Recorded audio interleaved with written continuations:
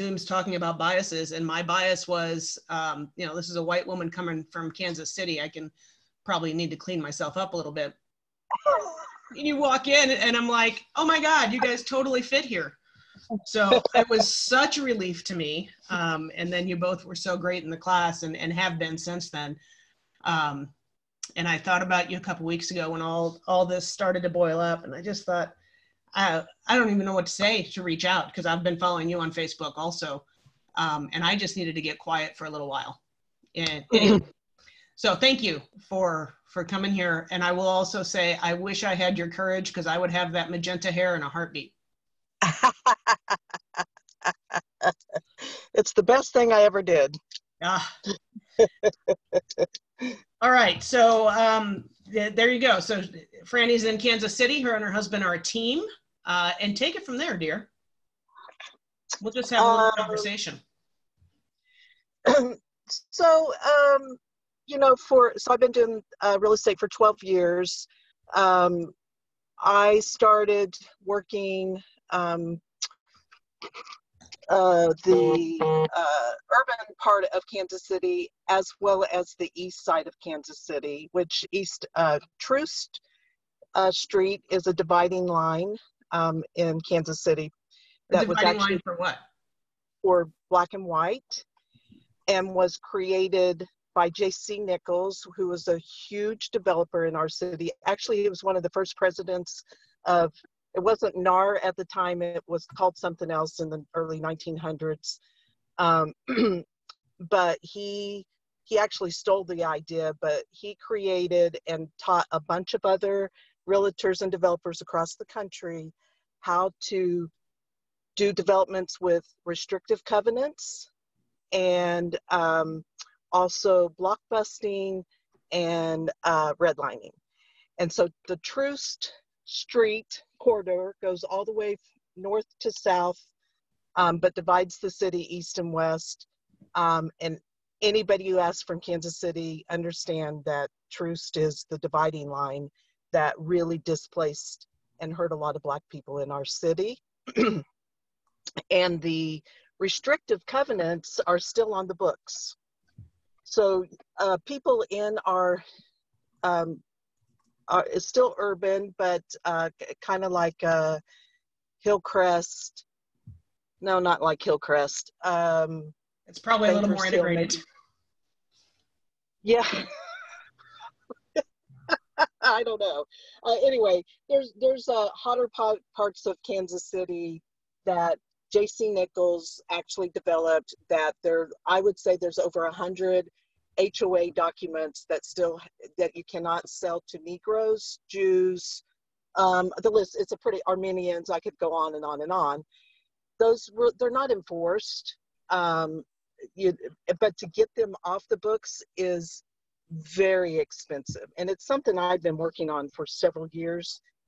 Um, uh, I started uh, neighborhood by neighborhood, but that's really it's not going to work. It has to be a state legislation move. But anyway, so I I've been working in this space for a very long time, and um, it's interesting. My husband, who is I'm not sure if you've said this you or not, tell him now.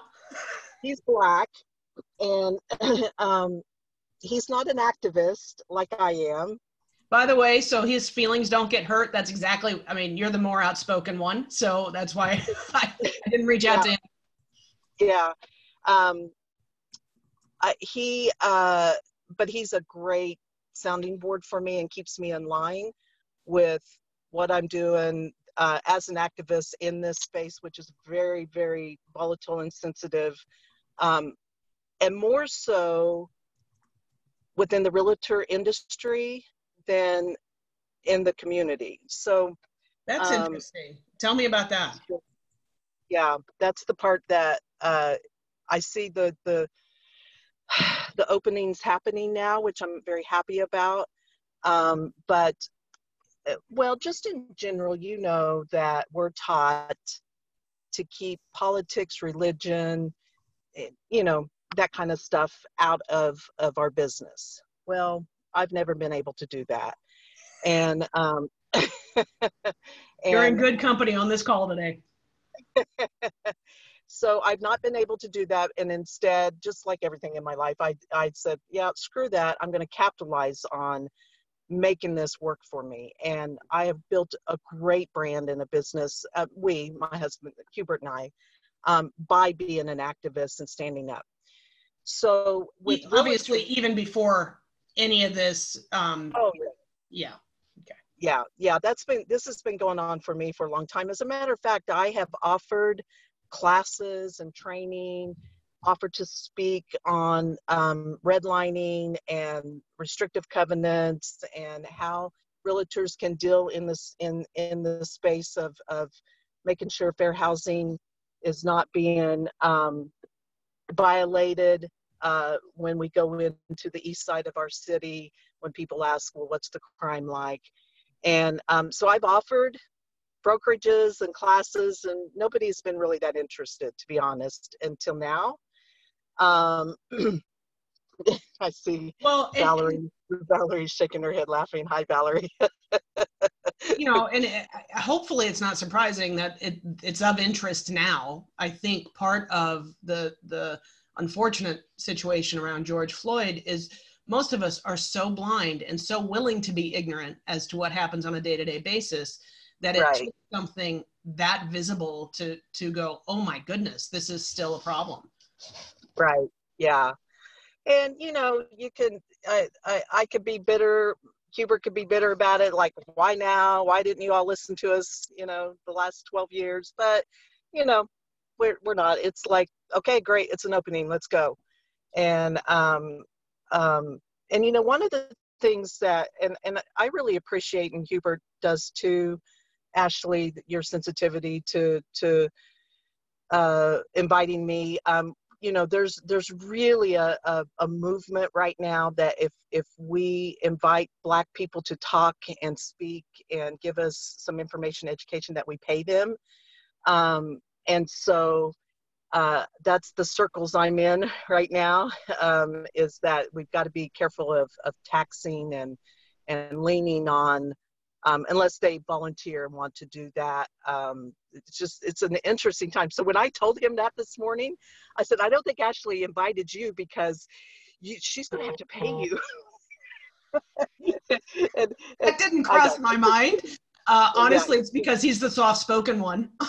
yeah, I know. I was just kidding. He laughed. He thought that was funny. This might um, be of um, interest to you, um, and I'm not paying him. One of my good friends, Emmerich Peace, um, and I are every Wednesday morning doing this and having a very open race conversation um, and learning a lot, learning a, an awful lot. Yeah. Well, we started, Hubert, Hubert and I started our um, Friday morning coffee um, last week. I've been wanting to do it for a long time.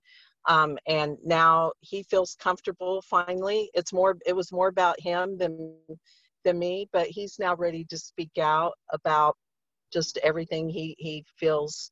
Um, and I will say, here's one other thing that is kind of not really known in the real estate industry. Um, for a African American person, um, especially a male, um, they have extremely hard time getting business with anybody not black. Um, so, for instance, our lead generation system. We use Facebook, um, and, and we're generating about 15 to 20 leads a week. Um, cold, you know, warm, warmish, not hot. And um, when he call, he he's our main caller to call and and chat with people when they come in. And um, if he if he assesses that they're white, he will pass them off to one of us white people um, he will not take it because he feels like it's a waste of time. They will just uh, they'll they'll come up with some reason once they meet to not um, hire him.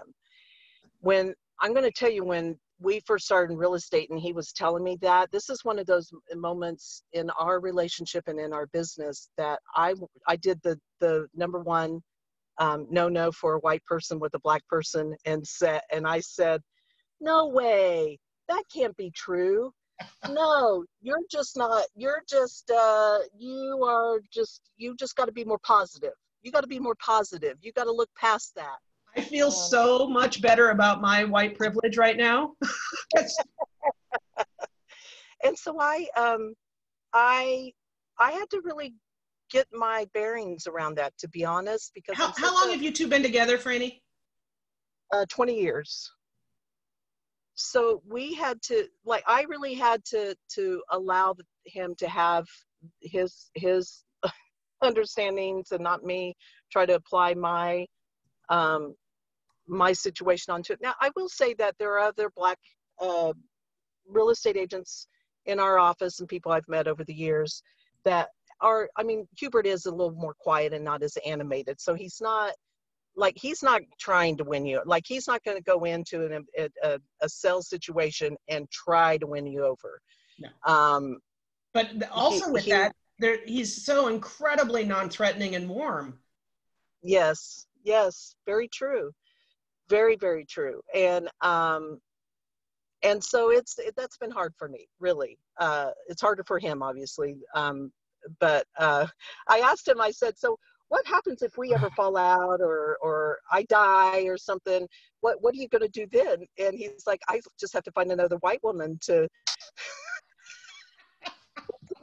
do my business well so so since you went there what is since you're right on that line, right, of, of trust, what what is your mix? Obviously, it's urban. I'm going to guess for Kansas City, pretty diverse mix of business. But if you racially had to divide it up, uh, our personal business, I would say we're about 20% black, 80% white. Okay.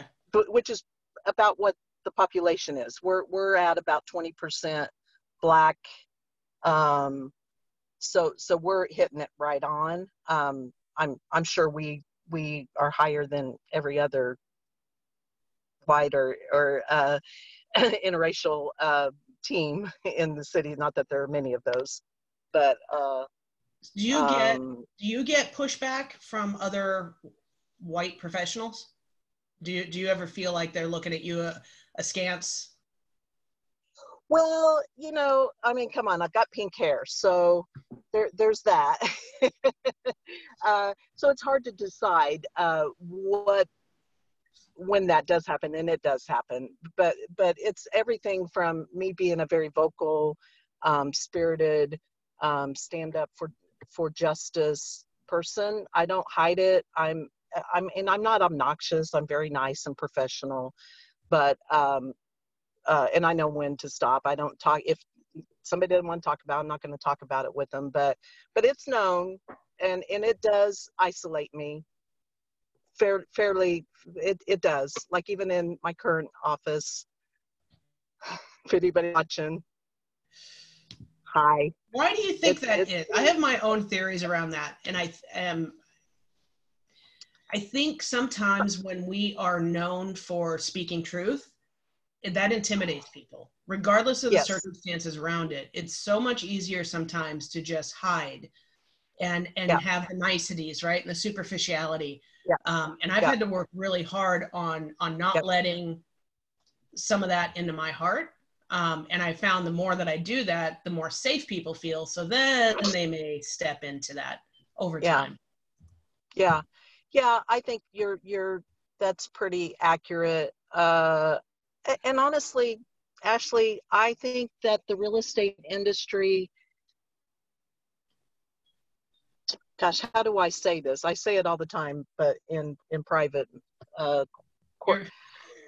I, I mean, I, you know, it's dropped on here, so you know we're, we're probably pretty good. So in so in Kansas City, I'll just say because that's my experience, um, that you know we, it only takes two weeks of class to get a license here, right?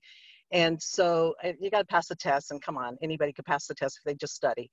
Um, and so we get a wide range of of people who I, I think a lot of people come from you know from being in a nine to five job um, and some freedom for whatever reason um, the professionalism is not as high in real estate as they would like it to be.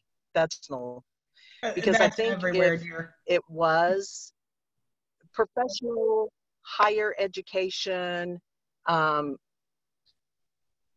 i mean just the diversity i mean kansas city is not i don't know the diversity and and the the, the very conservative culture of missouri and kansas not so much kansas city but it, it does influence kansas city.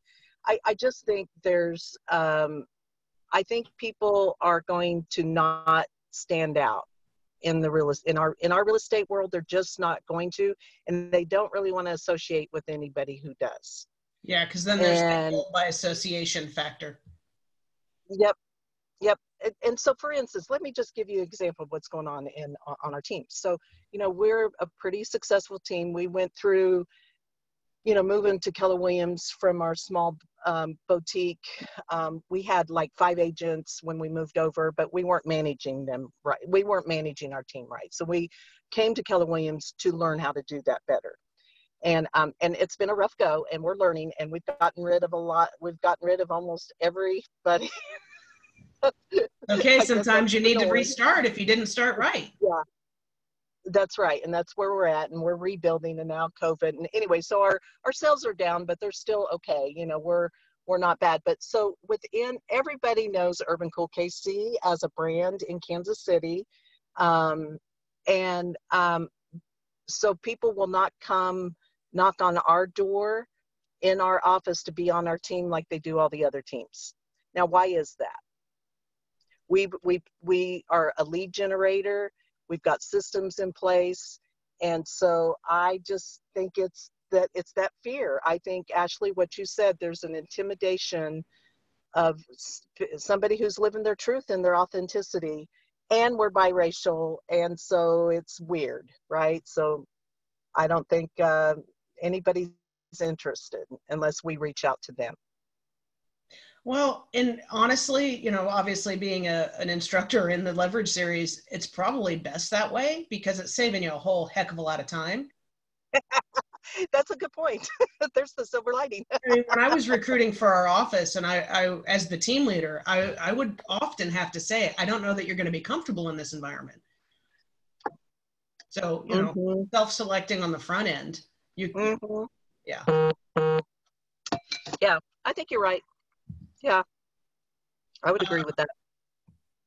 All right. So, what right now, what right now do you think is the biggest challenge? Let's first say in your community, right, and then in the in the real estate community. So both of those sections. Um, it, it's been tough. I mean, with COVID and you know being quarantined, and then obviously the, this explosion of frustration and anger, rightly so. Um, what's your community looking like right now? Um, well, we have a pretty corrupt police department. Our chief of police is is uh, everybody's asking him to resign. Um, we are the only um, city that does not have a local control of our police. It is uh, the state. The governor appoints um, a five-member uh, committee to run the police department. So it's appointed by our state. Um, it the one that And that's that's be, Missouri, right? yes, But you're really close to Kansas City, Kansas, too. So, Yeah. that, yeah. is there anything weird there? Um, I don't. I'm not following the Kansas side as much as I do the Missouri side, so I'm not sure. Um, the mayor, um, our mayor is black. He's young. He's new to to the position. He was on city council. He um, he ran on.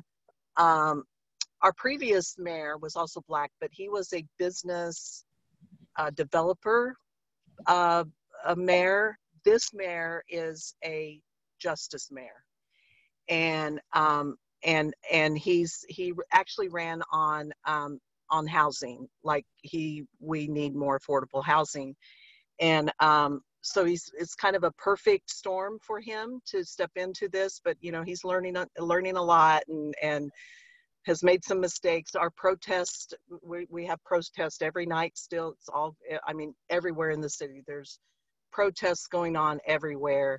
Um, kneeling nine kneel for nine nine kneel um, just in every every part of the city that's happening. Um, in the beginning like almost every other city the the police did not handle the protest well. Um, were you know tear gassed and rubber bullets and people got injured and at the peaceful marchers not at the looters and and you know we didn't have as much looting and and um, violent stuff as as some of the other cities did but we had enough that it scared everybody but um but the police were very very handled it very poorly and um so probably the first time like here first time they've encountered that in decades. Yeah yeah it's just i just think they didn't have their sea legs they really didn't quite know what they were doing um, and the mayor was also getting his sea legs so he's trying to figure out how to manage between all parties and um, and we have quite a few um, black men that have been killed, uh, murdered by the police in the last uh, couple of years. I'd say we've got about seven that the police got let off, um, and those are now resurfacing, and the uh, city is demanding. Um, people are demanding that um, that they be addressed, or those who are supposed to be addressed them needs to go and we get in um, um, a new group. Uh, uh, and that's probably we, odd, only because when you said the governor really controls it, so that state level, Kansas City being way more liberal, right, than the rest of the state, there's probably right. a lot of right push pull there. Right. Yeah, it's weird because the the the governor, who is very Republican, um, does not um, really interfere much. I mean, it's a weird situation um, it still needs to be locally controlled. They they took away the local control because of corruption, and um, that the mayors of the past were appointing um, their buddies, and it was highly racist. And so that's why it actually was supposed to solve the problem that it's still not solving. Um, but just like everywhere, too, our um, our union, our uh, fraternal order of police is also creating the problem it's big of the problem that when these police officers are being um, looked at when they have these um, excessive force or murders um, the the union is is saying let them off. And so you know so we're we're we're following in line with just about every other city with with trying to to uh, change that. We there is the movement for defunding but um, we haven't got as far as others. Like Minneapolis is really far along in that um, way. We're we're not quite there yet. I think that's going to be a bigger leap for us to start moving. I think we'll do it, but we won't call it defunding. That's just too too too hard for people to understand right now. Yeah. Um, but I we think, did. Get, I think most people could understand that better by reallocation. it's it's really yeah. funding. It's reallocation. Right. I know. I know. I wish they would not have named it that, but um, we did finally get we we we had uh, uh, God, what happened with our body cams? We've had body cams ready to go, um, but needed some more money or something, and the, the money was there, but they were holding on. Anyway, it finally that finally got passed. So now the body cams are coming. I mean, we're so far behind in that way, but but the city is. Um, um, I mean, we're we're we're pretty hot. We're pretty live. Um, you know, and it's interesting. I'm sure everybody else here know has been seeing this too. I'm just so amazed that like even my clients, uh, who I know they've come to us for diversity, but have never really said much, are like all now Black Lives Matter, all their posts and all this, and it's just like, oh my God! And I'm trying to give them as much love as I can, and it's like, yay! I had no idea. well, again, I think because you're in the community, right? Um, it's so easy. It, has been one of the painful realizations for me, and I am going to plug the book again. Um, I know it's getting a lot of talk now, but White Fragility, if you, it, eh, I would highly encourage you to listen to or read it, and it will take a lot to really absorb it. Um, it was a yeah. very challenging book for me because I had to look in the mirror in a lot of ways. Um, and one of those was I have just not intention, mm, intentionally, but for other reasons, created the world I want. Right? I, I don't allow people with outright bias into my circle. if I, right. if I uh, perceive that you've got a racial bias or uh, sexual orientation bias, I'm just going to keep my distance. And I've done yeah. that so well that there are times when I I have to travel outside of my circle to go, oh gosh, these things are still as prevalent as they have been. I'm just right. selectively not seeing it. Yeah. So yeah. people you know, in, in your sphere, I think, probably have had the same. Oh my gosh. Right. Yeah, definitely. And you know, I think the White Fragility book, you know, there's quite a few books out, and it's like, which do you read? Um, I would say that's a great book to start with. Uh, I, I, think what I have a book club right now. Uh, we're reading anti uh, anti racism.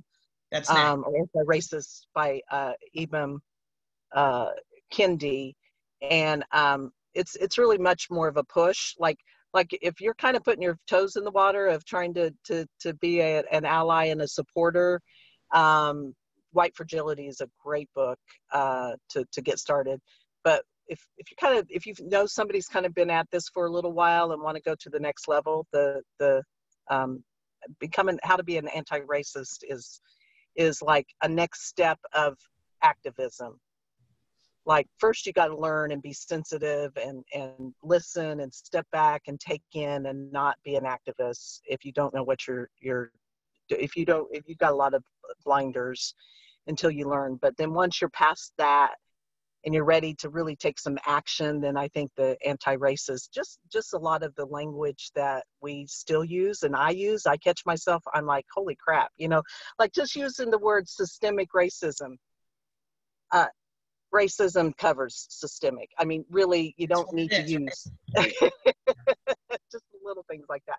And I and I will say one other thing that I think uh, uh, Hubert and I was trying to get another group together. He went to a book club. It's been ten years ago. Um, uh, Afraid of the Dark, and it's a book designed for a, a community to come together, a group of people to be led by a black person, not a white person, and it needs to be a mix of black and white. Um, more black than white is preferable, honestly, but um, equal amount. And the questions in the book are really designed to allow the black people to talk and the white people to listen. And it is, uh, so Hubert, it was an eight week um, group that he went to and he told me that I, and i was traveling at the time so i didn't get to be part of it but he said at the end of every session the black people would say to the white people thank you so much for listening. That it's the first time that they've had the experience of white people just listening and without interrupting without saying that can't be true um, being defensive um, and then hubert told me that it was the most healing thing he's ever been part of. Like he would love to see more of these because it it it just it's powerful.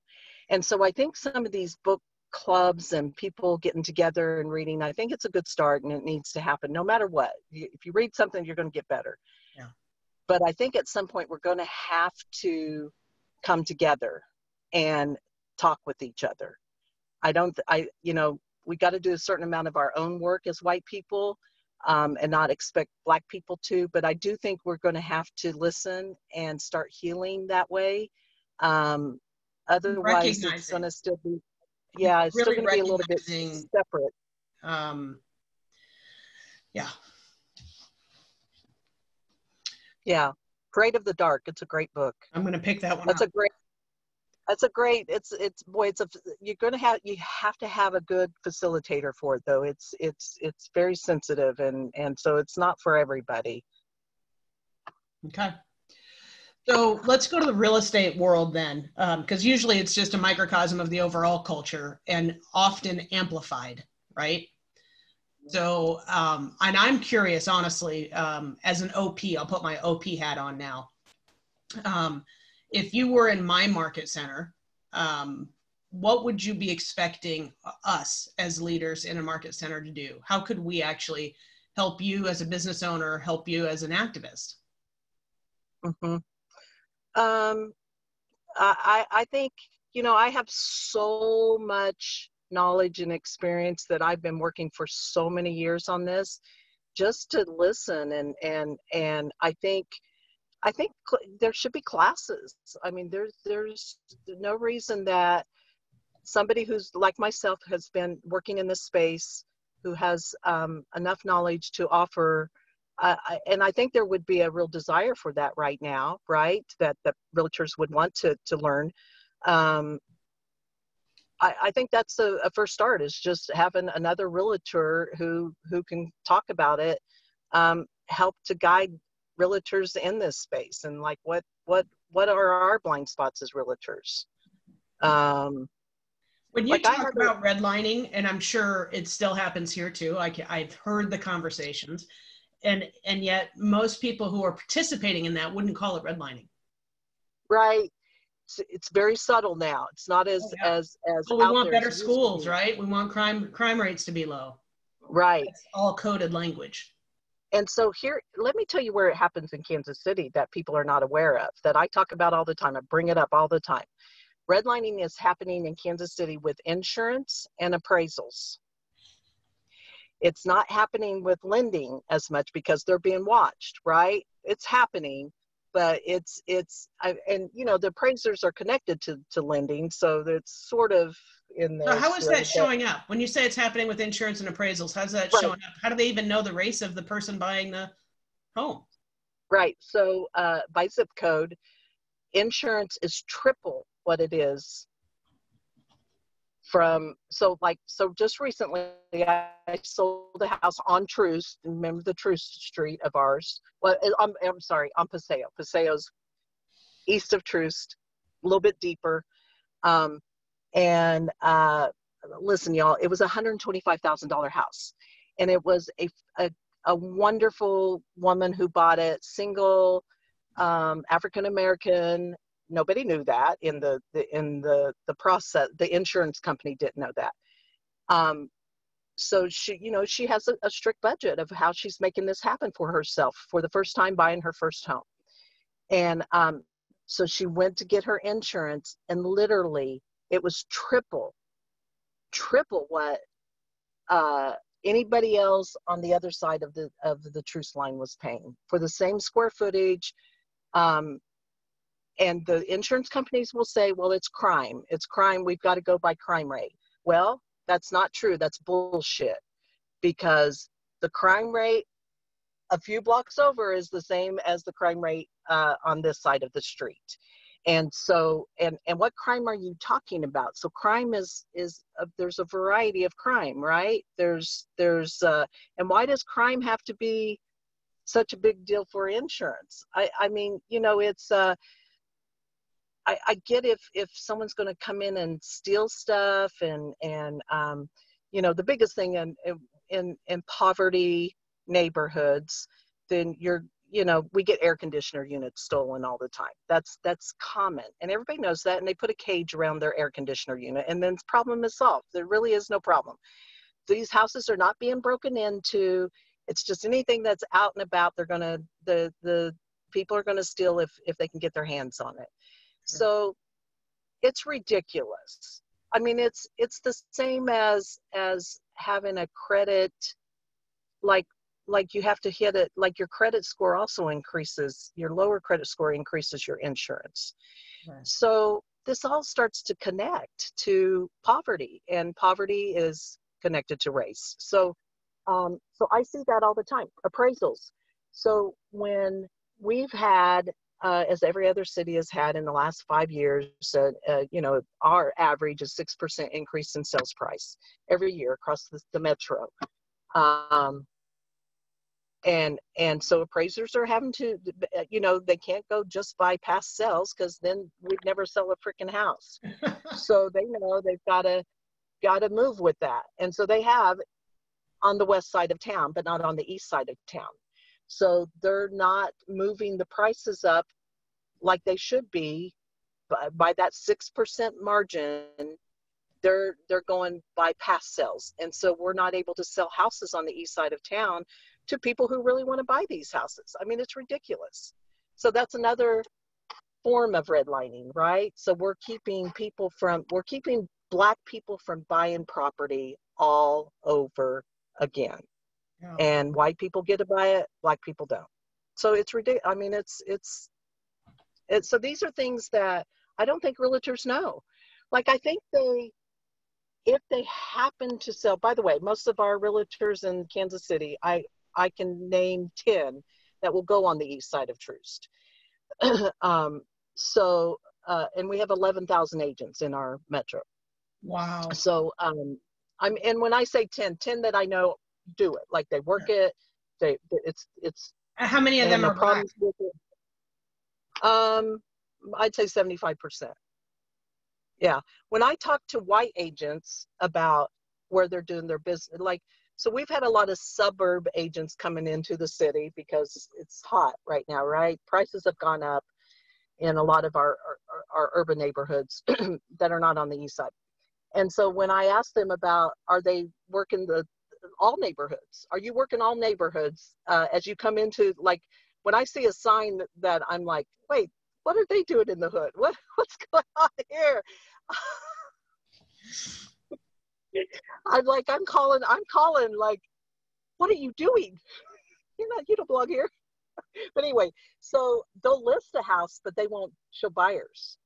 Oh, that's and and um and and so they'll refer it out to to somebody else to go show these to go show the east side. And so I will get a lot of agents who say we don't work the east side of town.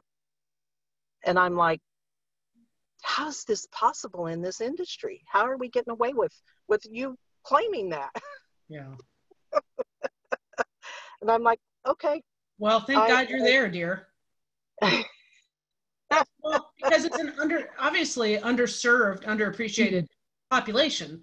Um, and part of me says, well, thank God. If they have that little sensitivity, thank God they're referring it out. Yeah, and that's true. And you know, we so a lot of our east side neighborhoods are starting to transition and um, you know houses are being flipped and renovated. Um, are you seeing Hubert and I actually okay this is where it's going. So hubert and i got um, we we also renovate a few of our own houses and so we got called in because um, we had posted a house on our Facebook page that had been really uh, increased in price. It wasn't even on the east side of Troost. It was close enough that people were thinking, oh my God, this tripled in price and yada, yada, yada. So gentrification got brought up. So we got called to, to speak on a, a local radio, um, one of our public radio stations on gentrification. Now we came in and said, look, we're not, we're not experts on gentrification. It's a pretty deep subject. And honestly, though, we are not experiencing gentrification. We're we, um, gentrification is, uh, and I'll tell you what Hubert said that they're experiencing instead that they've got to be careful about. But um, you know, there's we have maybe one neighborhood that has been really developed, and it's over you know close to million dollar homes now in wow. in the middle of a, an area that you're like, what? One one neighborhood okay, so we're not told, not every neighborhood east of Troost is gentrified. it could come that way, but I don't think so. I think we're not that fast moving city. You know, we don't have a, a, lot of that going on. But what Hubert told them is here's the problem when you have a bunch of white people moving into a neighborhood because the houses are cheaper and you're still kind of close to the cool neighborhoods. Um, what black people don't like is that that they get the police get called more often when white people move for them just walking down the street. And that's what hubert has told me over and over again that i would never have known as a white person that's an issue when white people move into black neighborhoods that are starting to gentrify is that oh, they, they, they call the police. And and black people um, are front porch this is a generalization, all right, but in most black neighborhoods in Kansas City anyway, it may not be this way in every city across the country, but they hang out on their front porch. They they enjoy uh, socializing on the front porch and and socializing with each other in the neighborhood. It can get kind of loud and obnoxious, but it's all fun. And white people don't like it. They they they feel like that's that's disturbing the peace and and so they call the police. So black people will tell you here in Kansas City, do not do not move into our neighborhood. Because you're you're going to cause problems. It's so interesting. So I, I, I tell my clients, my white buyer clients who are buying, um, because I, I people come to me because I know where to help people buy houses that are a lot less uh, expensive and but still in really cool spots. And um, I, t- I tell them, here's what you're going to experience in a culture that's different than maybe the culture you have been around up to this point. And so I'm just giving you a heads up. This is this is something that you're going to have to be sensitive about, and you should be sensitive about. And so you just their eyes just get so big, like, wow, boy, would never even thought about that. No, I and I love that, that you're setting that expectation. I, in San Diego, we're we're the same here. Uh, I don't know how many white agents would know that, but I've lived in two predominantly black neighborhoods in San Diego and for me, I would phrase it a different way. Yeah, they're definitely front porch communities. And it's a sense of community. I never felt safer anywhere. My neighbors had my back because we all knew each other versus a lot of the more suburban neighborhoods where people drive into their home and they never come back out. Yeah, that's exactly what I said. You know, it is it's a people think this less safe here it's more safe because of that. I don't agree with that and i explain and you know i i have i will tell you that most of my clientele that will go by on the east side of the town are millennials. They're they're you know and and they're millennials that have their own diversity like you know, gay lesbian biracial um they're just so much more in, interested in not being ignorant. Yeah. It's very it's a very interesting thing. And they talk about they're open about it. They're not I think my generation uh, doesn't talk about it. Like we don't talk about this stuff, right? It's like I'm feeling it, but I'm not going to tell you what I'm feeling, you know? And and and I again I always tell people, look, I have to I have to be careful what I say to you as as a, a licensed realtor with the fair housing, um, I, I can't say a lot about race, to be honest. And I say that up front before we even step into a neighborhood.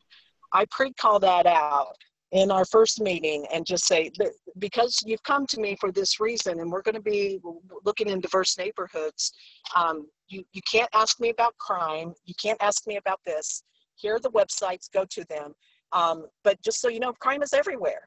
And uh, so, so we just kind of get that part out of the way um, before we end up in a neighborhood and I have to, to explain crime, you know.